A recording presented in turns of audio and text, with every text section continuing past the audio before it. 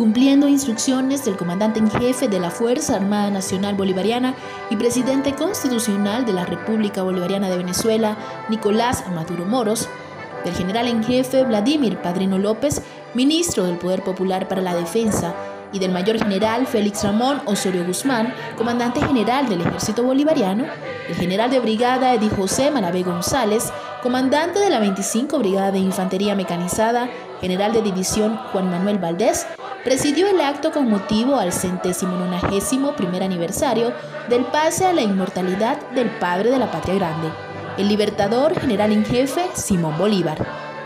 La 25 Brigada de Infantería Mecanizada, Centinelas de la Frontera, guardianes del norte del estado Táchira, donde el pueblo es la patria y la patria es la Fuerza Armada Nacional Bolivariana.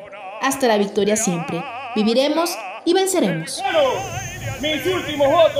Son por la felicidad de la patria. Si mi muerte contribuye a que cesen los partidos y se consolide la unión, yo bajaré tranquilo al sepulcro. ¡Viva la patria! ¡Viva!